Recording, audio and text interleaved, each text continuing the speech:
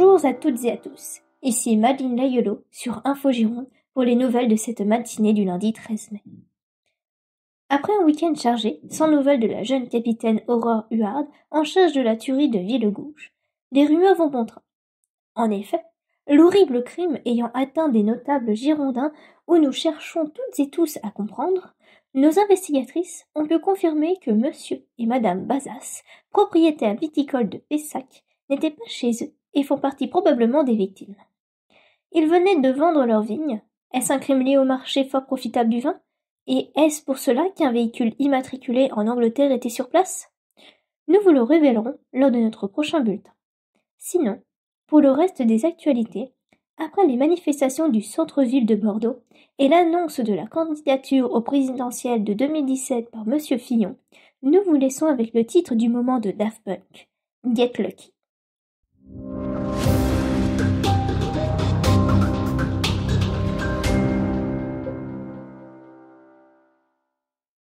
Tout a démarré un jeudi 9 mai, au matin, quand euh, la brigade, la section de recherche de Bordeaux a été appelée pour un incendie dans une maison à Villegouge.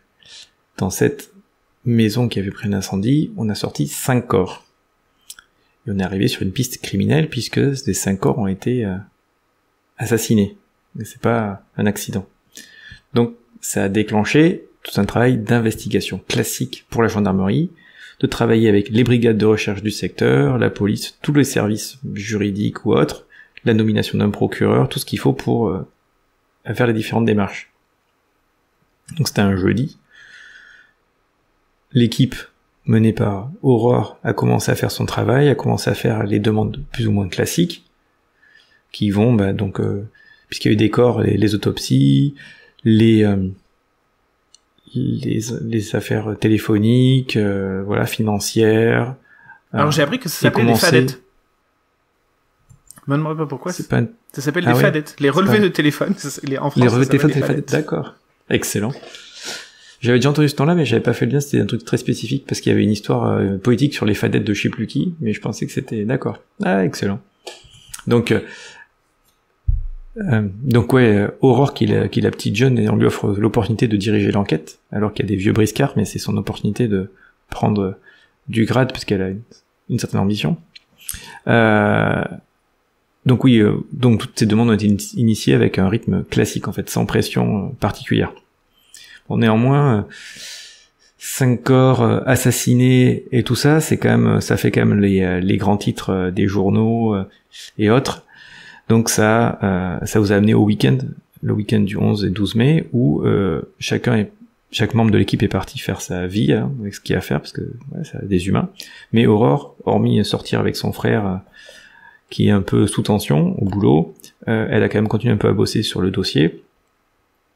Et on se retrouve donc le lundi 13 mai, où vous avez le rendez-vous avec votre hiérarchie pour débriefer un peu ce que ce que vous avez initié, où on en est.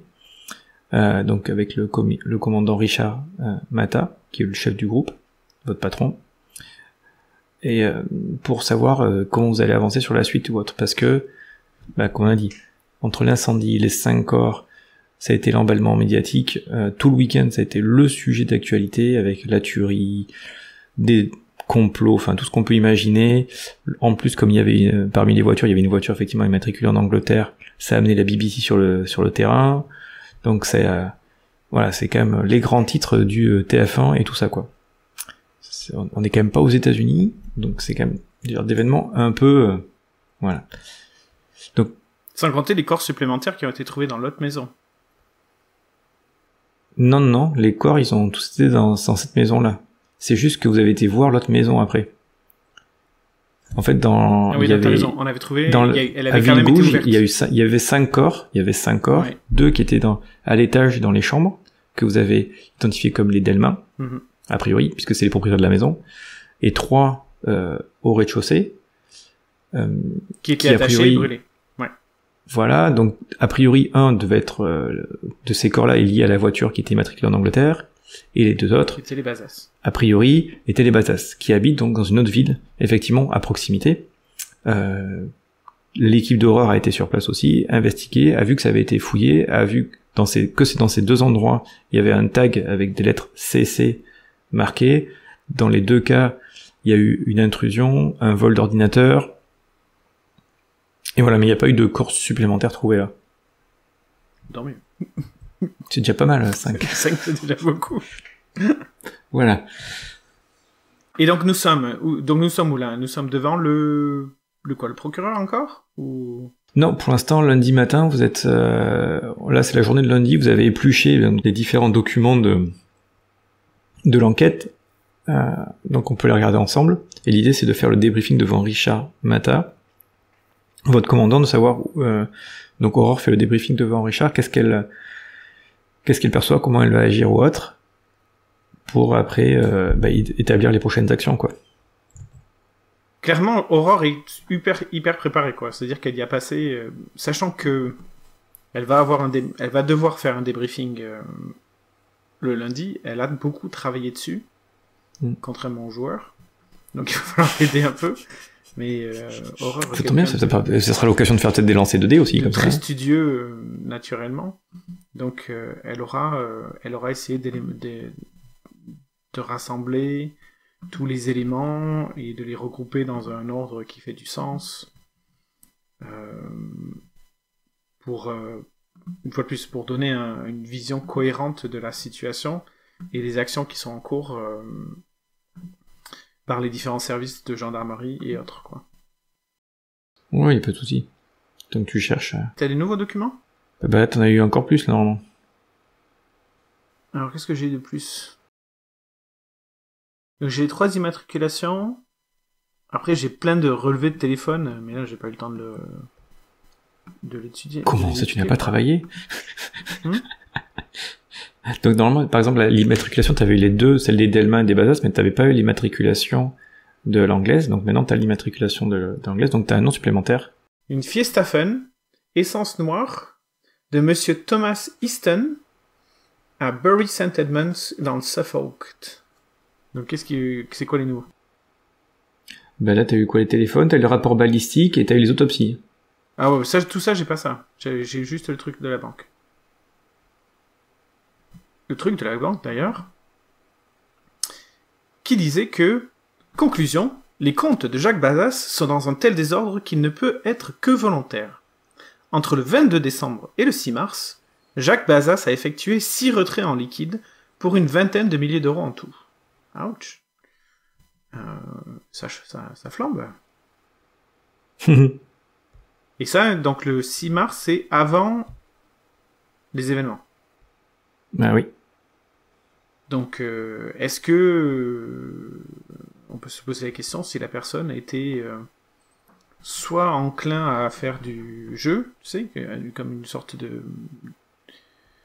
comment on dit ça en français, une sorte d'addiction au jeu, soit était euh, menacé d'une façon ou d'une autre, donc il était euh, sous chantage, soit bah, tout simplement euh, il était, faisait partie d'une sorte de secte, il donnait de l'argent, ou quelque chose comme ça. Ou il avait une maîtresse. Ou, mais si c'était un compte commun, donc où, elle avait, où elle avait un amant. Peu importe dans quel sens ça va. Alors, quoi d'autre? Donc tu me dis les autopsies, je peux, je peux les voir? Ouais. Ok. Immatriculation, téléphone, balistique, vente du taille. Ça aussi, je peux l'avoir? Je sais pas ce que c'est. Mais... Oui. oui, tout à fait, ouais, t'as ça aussi. Vente du taille, c'est parce que vous avez trouvé euh, les cadavres euh, qui étaient attachés avec des menottes et que c'était pas des jouets.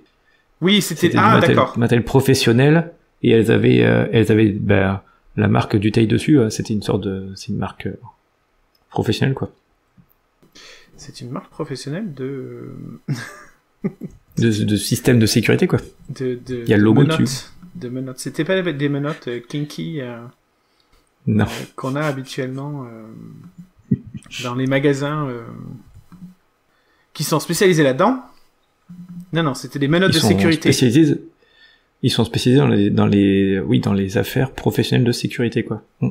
oui. ça fait du sens. Et donc, alors, on va commencer, bah, bah, puisqu'on parle des menottes, commençons par les menottes. Et t'as aussi, normalement, t'as un fichier texte, normalement, aussi, qui est un document gendarmerie avec une grosse faute d'orthographe. Est-ce que c'est fait exprès par... La, la faute d'orthographe, non, c'est moi qui ai planté. Euh, c'est... Euh... Parce que tu avais demandé aussi à, parler avec les voisins et tout ça, et donc euh, la section de recherche de, euh, je corrige la faute, non, euh, la section de recherche de Libourne avait interrogé le voisinage et il y avait un enfin, un témoignage qui était intéressant, quoi. Ah, document gendarmerie.txt. Ok. Ouais, c'est ça. Et t'avais pas lancé, par exemple, euh, de demande de renseignements sur euh, l'anglais, quoi. Sur Easton, par exemple, ça t'avait pas fait de demande comme ça, quoi. Eh ben, il va falloir peut-être le faire. Ben, dépendamment de ce qu'on trouve, hein. Commençons par les ventes, les ventes d'Utei. Ouch! Mm-hmm. Alors sur le document des ventes d'Utei, qui s'appelle Rapport des ventes d'Utei, des menottes, alors d'ailleurs euh, des menottes qui valent 14,90€ euh, chez Dutei, donc euh, en promotion d'ailleurs pendant tout le mois de juillet, si vous avez d'autres d'autres personnes à menotter de manière professionnelle et, et. Et donc en fait on a la liste des gens qui ont acheté ces menottes-là en quantité euh, différente qui vont de euh, la dizaine. Oui il y a une personne qui a acheté 10 menottes euh, jusqu'à l'unité en fait. Il y a pas mal de personnes qui ont acheté juste une seule une seule menotte. Tous principalement dans la région du sud-ouest Marmande qui se trouve entre ben, en, gros entre Bordeaux et et Toulouse. Hein. Biganos, Bordeaux, Tarbes, donc plus euh, dans le Béarn, R sur Adour, euh, toujours, euh, toujours plus, plus proche du Gers. bon, Bordeaux, Saint-Jean-d'Ilac. Tiens, ça fait longtemps que je n'avais pas entendu parler de ça. Donc Saint-Jean-d'Ilac, c'est dans le Bordelais aussi. Libourne, bien évidemment. Saint-Jean-d'Illac. Dillac. On dit pas on dit Dillac? Pour les, pour les locaux. Oui, on dit Dillac. Ok, je m'excuse auprès de tous les locaux que je viens d'insulter deux fois. Donc Saint-Jean-d'Illac. Merci. Euh, Libourne, Sénon, donc Sénon aussi, Saint-Laurent du Médoc, bon, bien évidemment, Capsieux, ah oui. donc ça se dit bien, ça se dit bien Capsieux, on est d'accord. Oui, Capsieux, euh, qui est dans Bordelais aussi, Bordeaux, Mont-de-Marsan, bon, donc euh, le chef-lieu des Landes, euh, pas la meilleure ville des Landes, mais le chef-lieu des Landes. Agen. Vous avez fait une, de, une demande orientée hein, sur le secteur, hein, pas, pas, ce qu'ils vendaient à l'autre endroit. Bordeaux, Mont-de-Marsan, Roquefort, donc la fameuse ville de Roquefort. Le Bousca, Mimizan et Salon, que j'ai aucune idée où ça se trouve. C'est dans le 33, mais, euh, mais euh, je sais pas où Donc là, on a plein de noms de gens qui auraient acheté ça. Et donc, on peut supposer que parmi la liste des 20 et quelques personnes qui sont là, ça pourrait être ben, ceux qui auraient acheté les menottes qui ont été utilisées. Ceci dit, ce qu'on peut voir sur le, se, relever, c'est qu'il n'y a pas de numéro de série. Ce sont des articles qui sont non sérialisés, comme on dit dans le domaine de la, de la supply chain. Et donc, on n'est pas capable de, de retracer les, euh, les menottes en tant que telles, puisqu'elles n'ont pas de numéro de série unique. C'est ça? C'est ça. Bon, c'est triste. c'est correct. c'est triste, ça aurait été bien. Bon. Donc, il va falloir... Euh, donc, je demande à... Euh, mon, mon, un, de, un de mes membres d'équipe de il va falloir corréler cette liste avec quelque chose, mais je sais pas encore quoi. Mais il va falloir corréler la liste. Sachant que, bien évidemment, dans la liste, il n'y a aucun Bazas et il n'y a aucun euh. Donc, euh, donc ça paraît, c'est pas aussi évident que ça, quoi.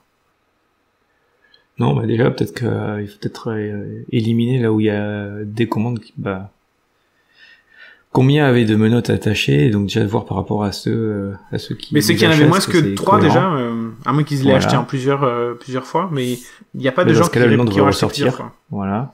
Donc là, on se retrouve avec une personne qui s'appelle Jacques Trentini, qui lui en a acheté, lui, qu'on est, donc Der Souradour, qui lui en a acheté trois exactement. Mm. Mais on a aussi Sophie Ianski, ou Lansky, je sais pas, j'arrive pas à le lire, euh, de Bordeaux, qui en a acheté 10. Alors, 10, euh, je sais pas ce qu'on fait avec 10, 10 paires de menottes. Euh, et ensuite, euh, l'IA Leroy de Roquefort qui en a acheté 4. Mhm. Tous les autres euh, en, en- en ont acheté en une quantité moindre que 3. Donc déjà, on peut... Bah, à voir ce qu'on peut faire, parce que vous avez leurs adresses, ou peut-être, je sais pas, les, les contacter, ou euh, C'est ça. savoir quel, quel achat. Ou vous pouvez demander aussi au magasin, est-ce que, qu'est-ce qu'ils ont acheté, est-ce qu'ils ont acheté d'autres choses ou pas. Mais si le magasin a confirmé qu'elles sont pas sérialisées, euh, ouais. Donc, euh, allez, pr- première action euh, de suivi. Euh, monsieur, le, monsieur le maître du jeu, très bénévolant, de m'avoir filé toutes les infos. Allez interroger ces personnes. Donc, je le donne à l'équipe. euh, Donc, on a dit qu'on en faisait toujours deux équipes et puis ensuite une personne qui restait tout, tout le temps au bureau. Ouais, parce que sinon, avec euh, une personne, elle peut passer sa journée, c'est au maximum trois, trois demandes. Si elle ne fait que ça, donc après, il faut, euh, il faut effectivement répartir avec plus, euh, de groupes si on fait plus de demandes, quoi. Ben, donc, pour l'instant, on est parti, on est parti sur ça. Ensuite. Le... Donc, tu peux me redonner les noms des personnes? Oui, tout à fait. Donc dans la liste des personnes, il y a Sophie Lansky ou Iansky, je sais pas, euh, la police de caractère me dit pas Ouais, si c'est un I je sais pas, c'est un I ou un L, je sais pas, on verra. ouais. Mhm. qui habite à Bordeaux. Mhm. Euh, Jacques Trentini, qui habite à R sur Adour. C'est pas la porte à côté. Euh, et Lia Leroy, qui est à Roquefort. Donc pareil dans les Landes. Donc il va falloir y aller, etc. etc. Mhm. Donc ça fait trois. Ok. Ensuite, on va continuer avec les trucs légers avant, avant de s'attaquer euh, au lourd. hein. Tout à fait. Donc, dans le rapport de gendarmerie sur l'enquête de voisinage, sur l'inter- l'interrogatoire de voisinage, il y a une personne qui euh, s'est manifestée, qui s'appelle Anna Soares, donc qui vit un peu plus bas dans la rue, avec des observations un peu, moins élogieuses euh, sur, euh, sur, sur ses habitudes, apparemment euh, quelqu'un habitué du quartier une veuve qui habite le quartier, et qui a dit, je cite, L'autre jour, c'était le vendredi 3 mai, j'ai vu une femme qui rôdait dans la rue. Elle ne faisait rien, elle marchait en cherchant des maisons. Je me suis dit, toi ma petite, tu fais des repérages pour un cambriolage. Mais il faut vous dire qu'en ce moment, les cambriolages, ça va, hein. Mais c'est pas le problème, ça, j'imagine. C'est jamais le problème de personne, de toute façon. Bref, j'ai pris ma canne, je suis sorti et je lui ai demandé ce qu'elle voulait. Elle m'a dit qu'elle cherchait un monsieur, je ne sais plus comment, jeudi ou jardi. J'ai dit qu'on n'avait pas ça ici, elle a tourné les talons et elle a décampé. Je l'ai suivie jusqu'au coin de la rue, mais elle était déjà partie. Elle est montée dans une voiture bleu foncé, ou peut-être vert sombre. Et non, je n'ai pas noté l'immatriculation, mes yeux ne sont plus ce qu'elles étaient. Euh, donc la description de la femme un peu plus, c'est une, personne de taille moyenne, euh, au visage banal et aux cheveux bruns, et c'était une petite voiture. Donc, si on corrèle ça avec les menottes, il y avait qu'une seule personne qui, euh, qui correspondait à la menotte, qui était donc Sophie Lansky. Donc, je vais peut-être leur demander de prioriser euh, la visite de cette, euh, de cette personne-là euh, parmi les trois. Ok? Mhm. Bon, je le fais pas dans la voix d'Aurore parce que n'oublie pas qu'Aurore, elle a un accent du sud-ouest. Et donc, quand elle Marqué. parle, elle parle vraiment avec euh, un vrai accent de chez moi.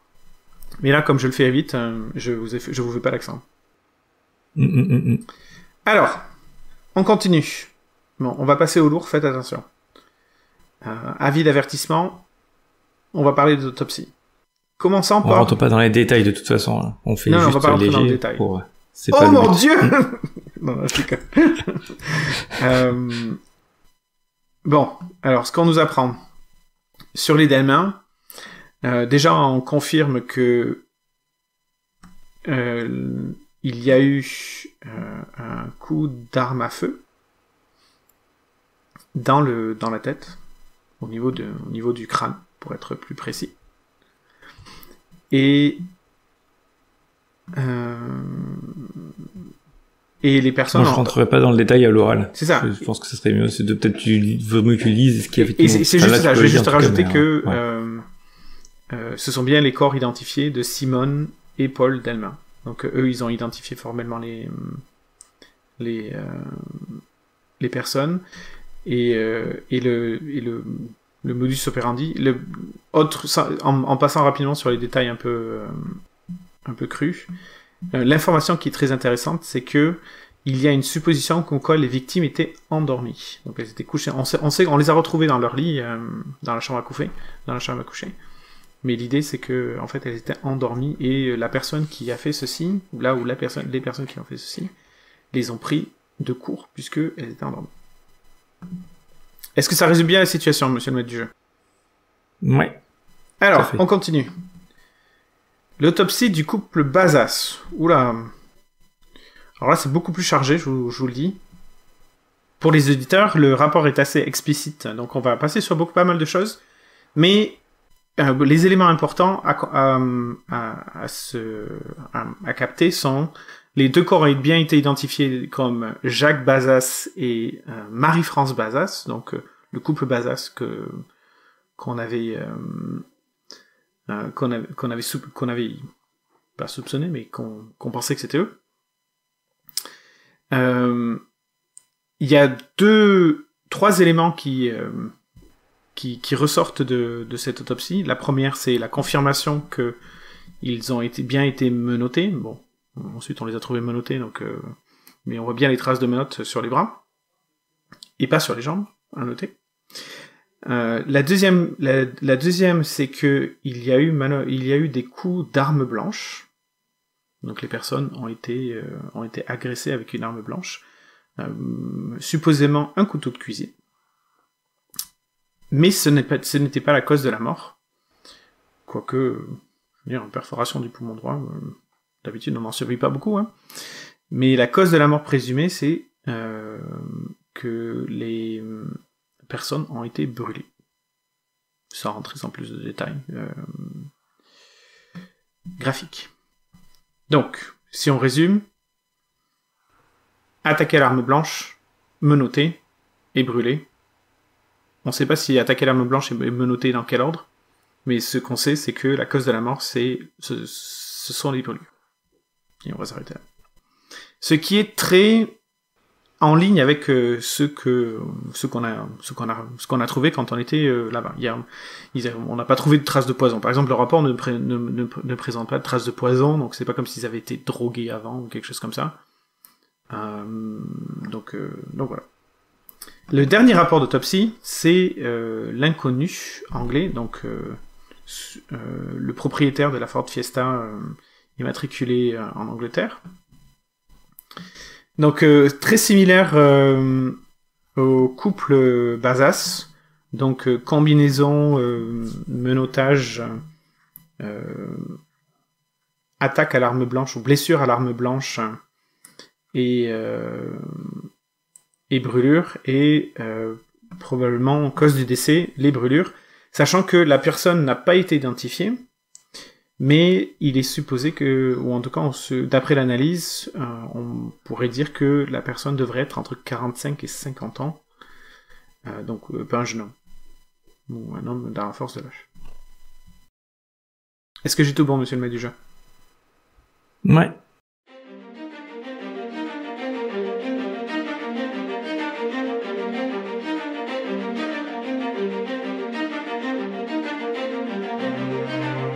Comme toute bonne enquête, après les faits, lancer les procédures, les rapports commencent à arriver et il faut faire le lien avec toutes les informations récupérées. Qu'est-ce qu'Aurore va pouvoir en sortir Et est-ce que la section de recherche arrivera à trouver rapidement des réponses? Pour le savoir, restez à l'écoute de ces aventures.